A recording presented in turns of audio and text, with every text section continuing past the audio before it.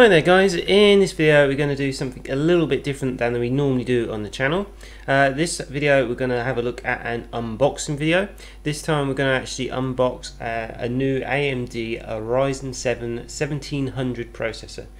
This is an 8-core chip that runs at around about 3 GHz with a boost of around about 3.7. So unlike the 1700X and the 1800X, this comes with a stock cooler. It is said to actually not be too bad and it actually has RGB on it surprisingly, but we'll have a look at that later.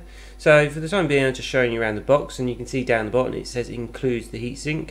Uh, this did make it a little bit better value for money because I'm not too sure what I'm going to do with it. So this, um, have a look at the chip. I don't know if you can quite see that that well. Uh, I kind of haven't got a lens on for actually focusing really closely on the actual processor. Uh, like I said, so that may not come out particularly well.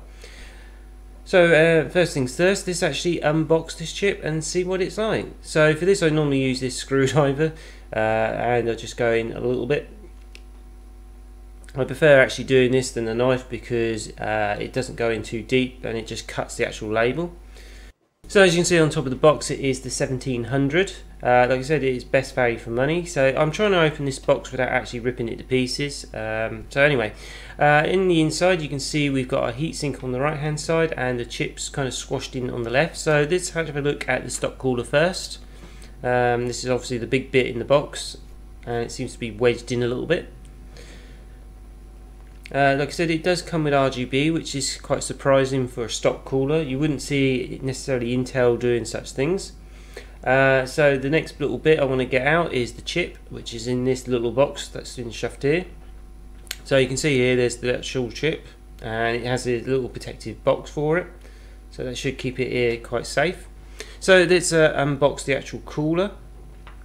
So let's uh, unbox this cooler and have a look at it. It said it's actually not a too bad a cooler and it does save you a bit of money especially if you've got to buy a cooler for the 1700X or the 1800X. Uh, you'll probably go for an all-in-one water solution which is probably going to be better but it depends what you're going to do with it but for the time being this looks more than capable of actual fan and heatsink. It looks actually quite a bit bigger than that you see on the Intel counterparts. Uh, so the fan spins pretty freely. Uh, we've got paste on the bottom already pre-applied, that's a nice touch, which should make it a lot easier. Uh, what one thing I do like on this cooler is it isn't in push pins. I've had a hell of a problems in the past with those.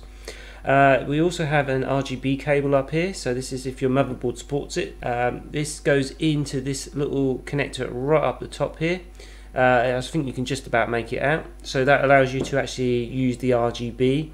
Uh, if you don't, I think just the AMD logo lights up. Um, but anyway, so that's the cooler.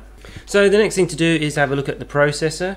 Uh, as you can see, it's in another separate box. So if we undo this one, uh, it's got some more stuff. So it's in a little protective wallet sort of thing, and we got a certificate of authentication.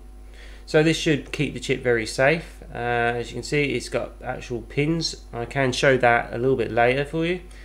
Um, so all in all, it looks pretty well protected. Um, you've got, I've got a little sticker there if you want to put it on the box. As you can see, it's in a kind of um, kind of easy to open uh, plastic box. Sometimes they can be sealed and they could be a nightmare to actually get undone, but that should be pretty easy. So one thing I just wanted to show you that Ryzen processors have pins on the processors and not in the motherboards. So just take a little bit more care with the processors themselves. Uh, you don't want to damage or bend one of those pins, but overall it shouldn't be that tricky. Anyway, so I know this is not a video I normally cover and something that I wanted to try and see what sort of interest there is. Hopefully the video has helped you if you was interested actually seeing an unboxing video of the Ryzen processor. Uh, one thing it does help if you could like and subscribe. Take care and have fun out there.